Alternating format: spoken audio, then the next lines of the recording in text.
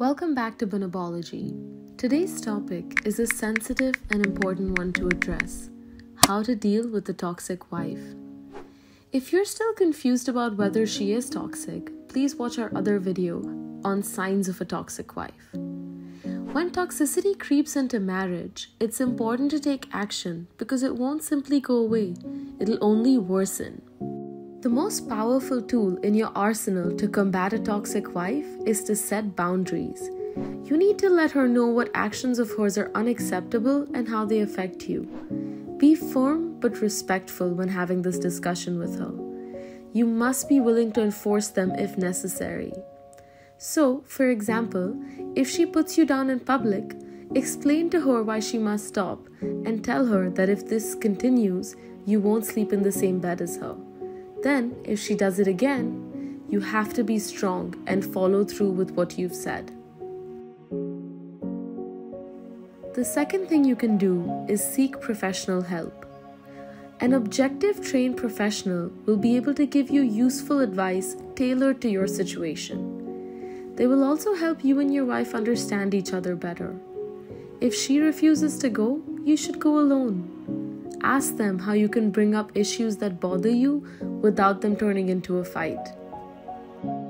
The third tip when dealing with the toxic wife is to avoid escalating arguments.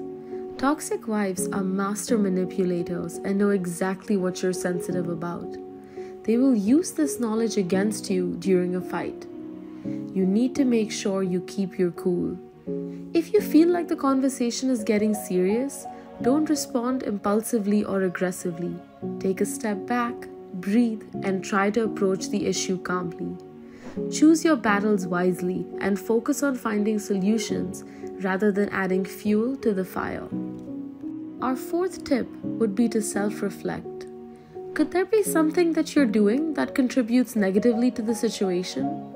You might not even realize it, but your actions could be triggering your wife's toxic behavior. That is why you must introspect.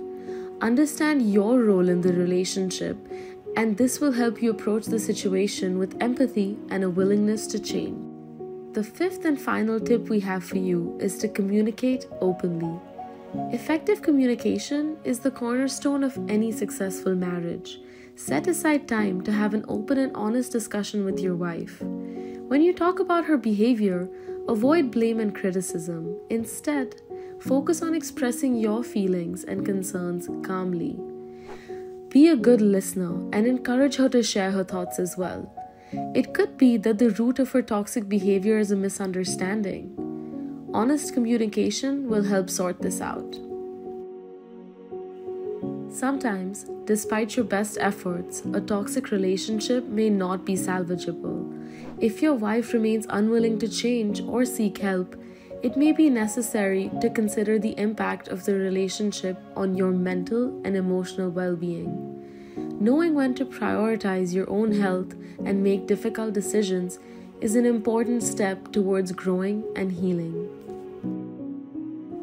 Remember that every situation is unique, and it's crucial to remain true to yourself and your needs throughout the process.